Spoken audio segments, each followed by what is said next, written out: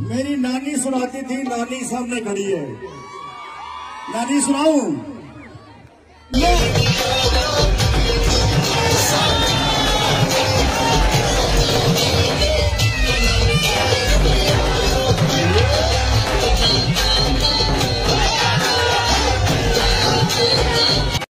सरगोदा में मालकू का शो था। मालकू के शो में नानी अम्मा आ गई। नानी अम्मा ने मालकू से फरमाइश की, कहा कि कैदी नंबर 804 गाना सुनाए। तो मालकू ने जब ये गाना सुनाया तो नानी अम्मा इस गाने पर झूम उठी। अगर आप इमरान खान के चाहने वाले हैं तो एक नानी अम्मा के लिए इस वीडियो को लाइक ज़रूर कीजिएगा। बहुत बहुत शुक्रिया।